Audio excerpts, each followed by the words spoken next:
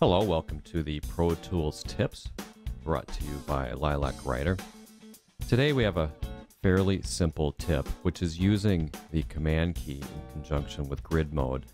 If you watched the previous videos, you saw that I commonly was switching back and forth between slip and grid mode while editing, because sometimes you need the fine control and other times you need to snap to the grid, and a lot of times it's back and forth.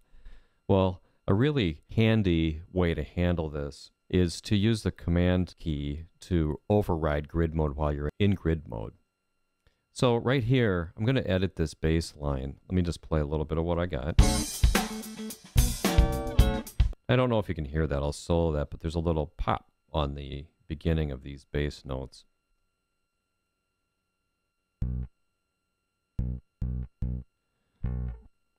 Because the edits are a little bit, um, they're not faded in. So I'm going to ungroup these. And then I'll demonstrate how this command key works. I'm still in grid mode. And I'm going to zoom up using T. And you'll see that the waveform here is chopped a little bit. So normally I would exit grid mode so that I could slide this back and work on that trailing edge. But if I hold down command, um, it temporarily puts me in the um, out of grid mode. So I can pull that back and then I just did that crossfade while in grid mode. I'm going to undo that. I can also hold command while doing this crossfade. And now let go of command. I'm in grid mode and I can pop this back to line up right on the measure. Hmm, zoom out a little bit. So the next one also has this problem. And see if I try to drop the um, insert point uh, cursor right here, I can't because I'm in um, grid mode. But if I hold down command, I can.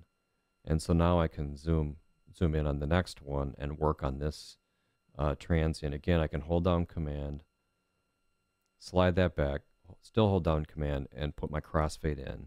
And I'm still in grid mode. And then we'll do um, we'll do the last one.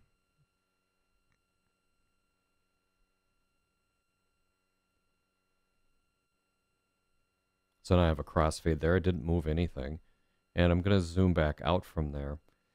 And now, while I'm in, um, now I'm automatically in grid mode. I can select everything here and uh, group it. I've never went into slip mode and I've resolved this issue.